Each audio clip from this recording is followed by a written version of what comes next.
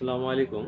আজকে আমরা ত্রিকোণমিতির একটা খুবই গুরুত্বপূর্ণ অঙ্ক করব। যে অঙ্কটা না করলে আমাদের থেকে যায়।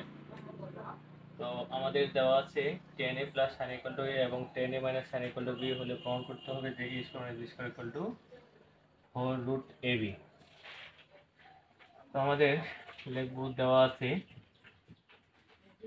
কি দেওয়া আছে?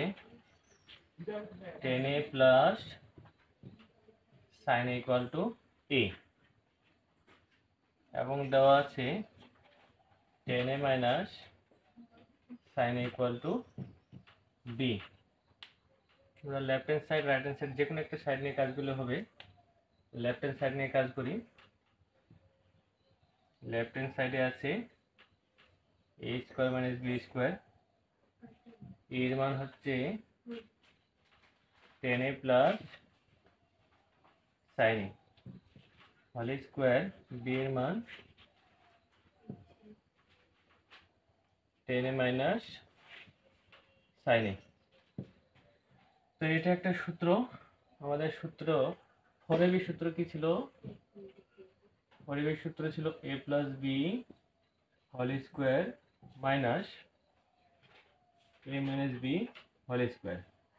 এখানে এটা হচ্ছে এ, এটা হচ্ছে বি এটা এ এটা বি তাহলে A plus B whole square minus A minus B whole square তাহলে কি লিখতে পারি? ফোর এ বি আচ্ছা ঠিক আছে। তাহলে ফোর এ বির জায়গায় আমরা কি লিখব? এ জায়গা হচ্ছে টেন এ বি জায়গা হচ্ছে সাইন তাহলে টেন ইন্টু সাইন এখন প্রমাণের দিকে লক্ষ্য করি। প্রমাণে ফোর আছে ফোর পাইছি রুট লাগবে। তাহলে একটা কাজ করি, ওই ফোরটা রুট দিয়ে দিই। রুট দিয়ে দিলে ব্যালেন্স করার জন্য আমাদের স্কোয়ার নিতে হবে। তাহলে রুট এবং স্কোয়ার কেটে যাবে। নিলাম। নেওয়ার পরে আমাদের যে কাজটা করতে হবে টেনে টেন স্কোয়ার এ এখন এটাকে আমরা ভেঙে দেব। সাইনকে ভাঙলে কত হবে? ওয়ান মাইনাস কস স্কোয়ারে এটা আমরা জানি। আমরা জানি সাইন স্কোয়ারে মানে sine one minus cos square এই পর্যন্ত কোনো সমস্যা নাই। ফোর টেন দিয়ে গুণ করে দেবো। টেন স্কোয়ারে মাইনাস টেন স্কোয়ারে কস স্কোয়ারে আচ্ছা এই পর্যন্ত হইল এরপরে যা করব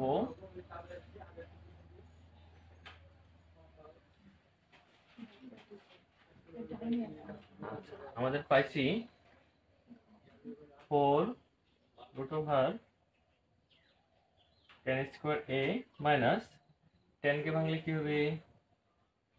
Sine square A by cos square আর এখানে আছে কস স্কোয়ার এ এটা এটা কাটা। Four